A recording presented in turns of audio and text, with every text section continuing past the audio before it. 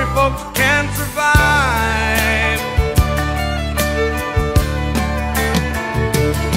Because you can't starve us